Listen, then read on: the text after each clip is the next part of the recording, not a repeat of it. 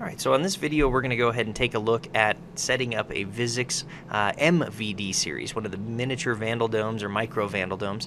Uh, so let's go ahead and come down here under your Start menu. Go ahead and come up to your Program Files and then of course your IP Utilities. Again, we see all of these uh, wonderful, you know, various manufacturers that we have preloaded, but we're going to want to use the VISIX IP Setup utility.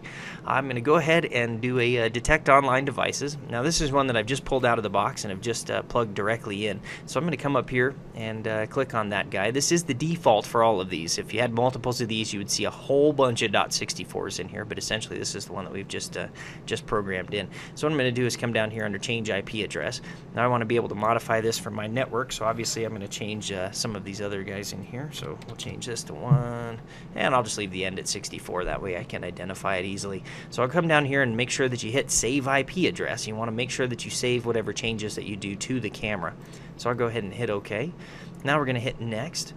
I'm going to do show advanced options. And notice you'll the IP address is still that same camera we were just working on so I'll go ahead and hit connect. It's going to log into this particular camera here. And uh, the next thing we'll typically want to do is we're going to want to do a force certified firmware update okay what that's going to do is that's going to push out a, uh, a, certified version of firmware to the camera that we know is compatible with our software. That's certainly a, a, big plus on this guy. So we'll go ahead and hit automatic update on this. And then this will take a few minutes to go ahead and upload to the camera. So bear with us while this uploads. Okay, so that's gone ahead and done that. So uh, obviously, since we've uh, done a uh, certified firmware update to this particular camera, uh, the first thing you'll probably notice is that if you try to connect to this guy, it's going to tell you that it's failed to log in. That's because we've just done a, uh, a, firmware update, and that camera actually needs to reboot. So give it a couple of minutes. Uh, this guy will go ahead and actually probably 30 seconds to a minute, but let the camera reboot. if at any point in time you want to check it again, just come up here and hit connect. just give it a few seconds, and it will log back in once the camera reboots.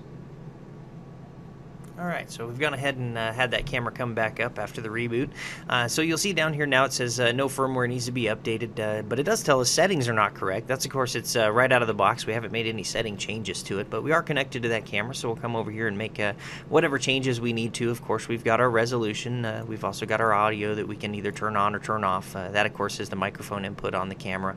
these little MVD jobbies typically don't have the standard microphone inputs, but if you do want that, that, of course, is an option for us.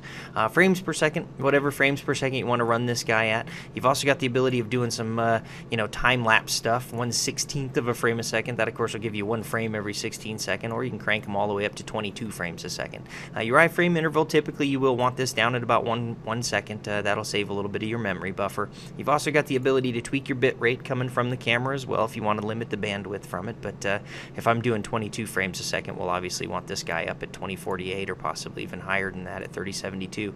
Uh, the predefined stuff, of course, is uh, just a couple of defaults or some full resolution settings. That, of course, is going to give us uh, everything we possibly can from the camera. Frames per second full, in this case, would be 22 frames a second, maximum bit rate, so on and so forth. You've got all of your substream settings down below.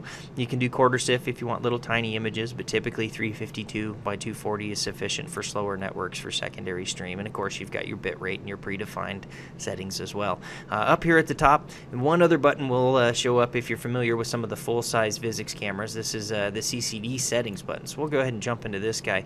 Uh, this is where you can actually tweak your white balance if you wanted to. Uh, of course, you can turn it off, uh, small scope or large scope, or you can leave it set to manual. Uh, entirely up to you. The, the best thing I can tell you about this, if you want to come down here and start playing around with some of your uh, gain settings and whatnot, just play with them. Every single light condition is going to be different. This is going to be something that you're going to want to play with and just see what exactly, you know, what works best in your particular scenario.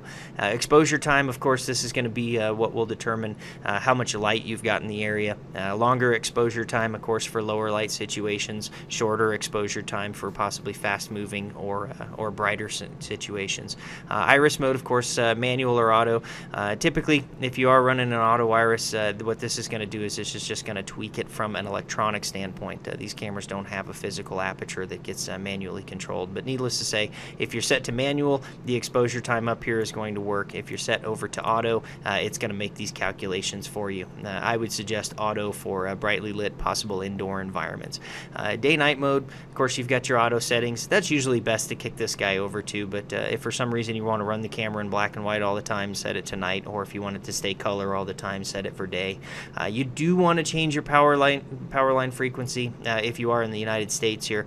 60 hertz is what we use here. That's certainly what you're going to want. Uh, from that point, go ahead and hit save out of here. This, of course, will save it uh, to the camera itself.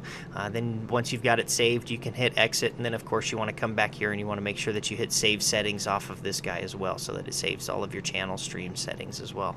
Uh, that should be it. The next step, of course, is to program it into your Vigil server software. Uh, we'll show you that in another video.